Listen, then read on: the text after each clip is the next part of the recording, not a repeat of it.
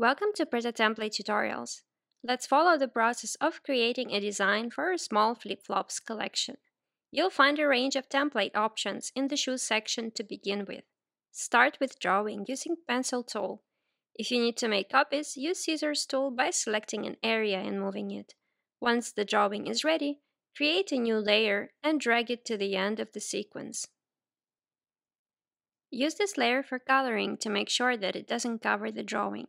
If you have some color palettes or references, you can drag the image to Color Palette section to create a custom palette from it.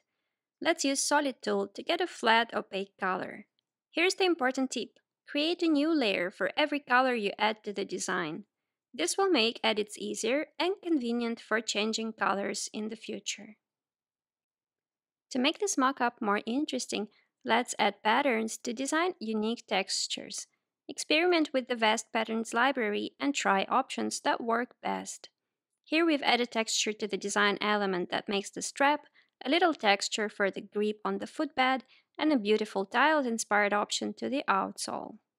Apply the same pattern on a new layer in darker shade, then use Scissors tool and shift it to the right, selecting a blank layer before you tap Apply. Leave this version and delete the previous, then drag a light pattern on top to get a 3D effect.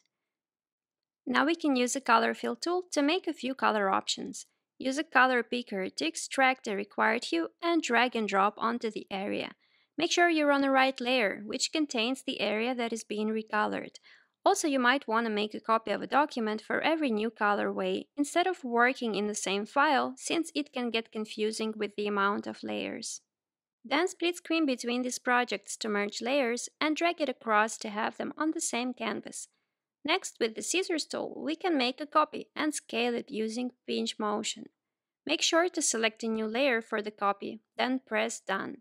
Here's the first composition. Now duplicate this layer and leave only the center view.